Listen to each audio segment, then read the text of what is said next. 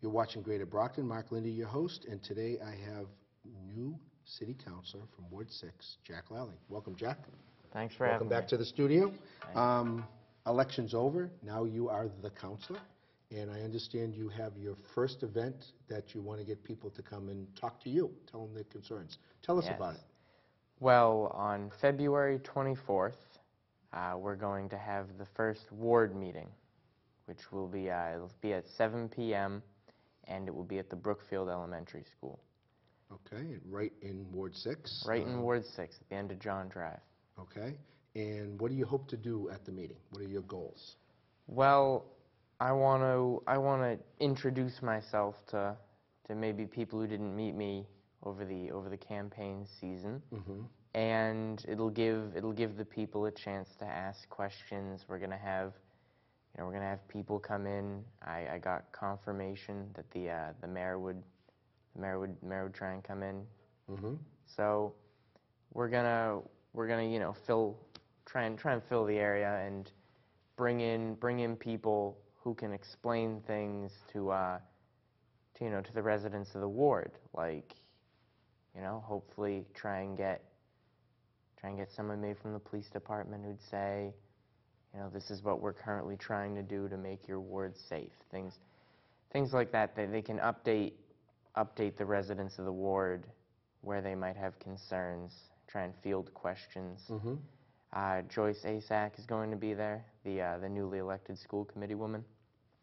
So she's gonna she's gonna help with people's questions regarding the school department, Mm-hmm. you know, things uh, things like that.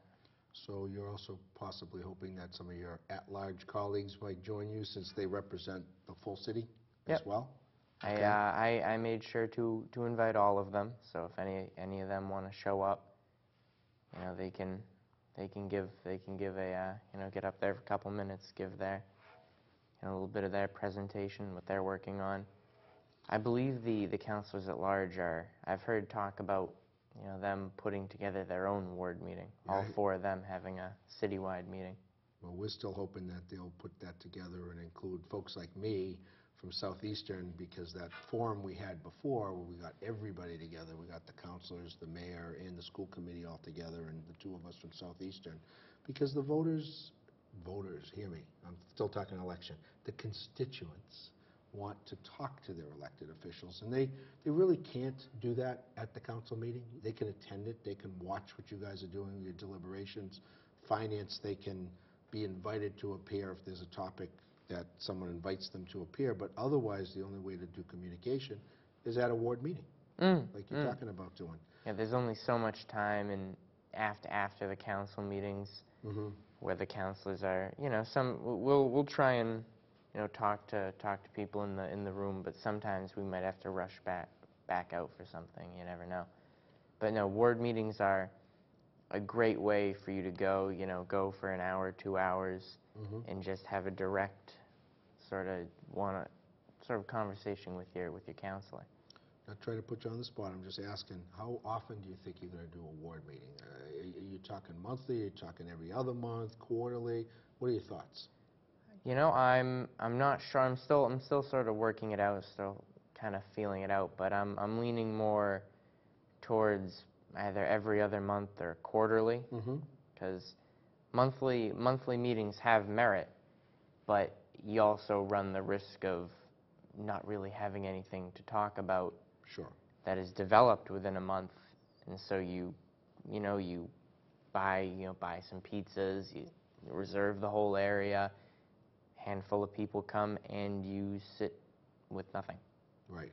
and it it really doesn't it really I don't think it works as well as Your first, second month you're in office, ward meeting, that's important, because I know your previous ward counselor held ward meetings. There are some counselors that hold quite a few, and there are some counselors that don't hold any. mm, Michelle Michelle was.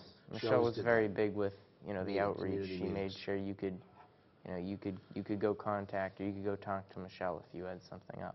So what are you getting, what's, what's going on so far? How have you uh, acclimated yourself to the whole process? You- You're, you're in, uh, we're in the beginning of February. We'll, we'll run this right up to the day before your meeting so we can let people know that it's happening. Um, and we'll give you the coordinates for YouTube. If you want to post it, you can use it too.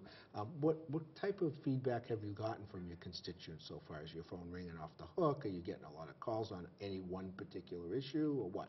I have not, and this is this is really because you know I think because everything's been there's nothing really on the agenda yet. You know, a new legislative session, so everything's been cleared. So there is no real big issues that people are you know calling calling up their counselors about. My phone hasn't been hasn't been that active. You know, I've had a couple of calls about issues, and I've been able to you know, at least, at, you know, at, at best, help solve the issue and at least give, you know, give them the right steps. Send them to the right person? To send them the right person, yes. Okay, so... But uh, the, the, uh, an issue coming up, and hopefully it's not an issue, I look at it as a, uh, as a positive, Mhm, is the, uh, the old Romuva Park. mhm.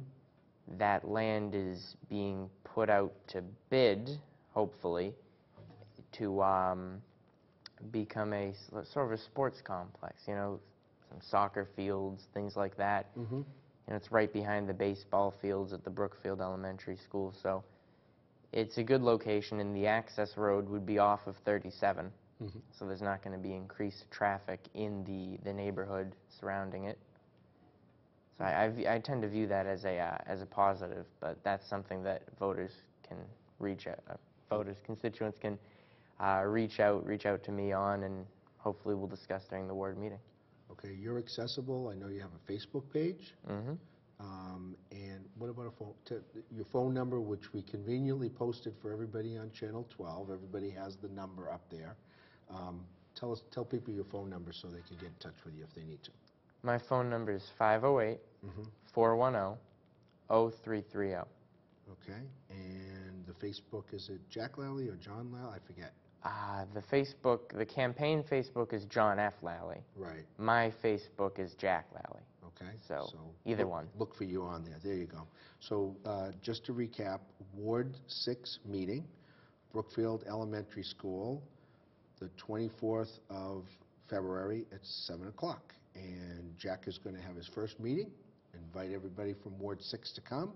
And uh, you have neighboring wards, so you never know, you might get some strays from Ward 5 or or whatever.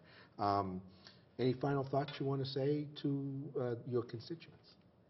Well, I hope to see hope to see him at the meeting. Perfect, That's yeah. perfect. Thanks for joining us. Thanks for having me. Appreciate it. Uh, You're watching Greater Brockton. Mark Linde, your host. Stay tuned for more events, places, people, and faces right here in the City of Champions.